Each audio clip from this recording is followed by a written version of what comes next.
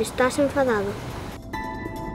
Cinco son os persoaxes desta historia que flúe a través do fío conductor da música. A Ribeira Sacra, lugar da viticultura heroica.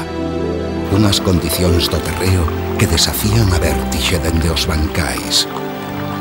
Un viticultor, representante de todos os que se curtiron no abismo da dificultade para chegar a ser únicos.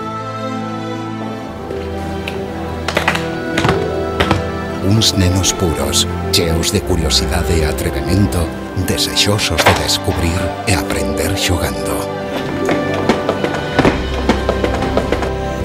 Esperadme, trampasos!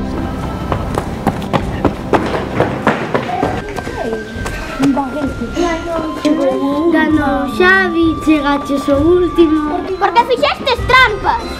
Ben, si, me teño unha cousa que ensinarche. Onde ides? cuidado, que vos coñecen A banda de música de Chantada Unha das máis antigas de Galicia Que a punto de cumprir os 150 anos de existencia ininterrumpida Segue sementando valores ali por onde pasa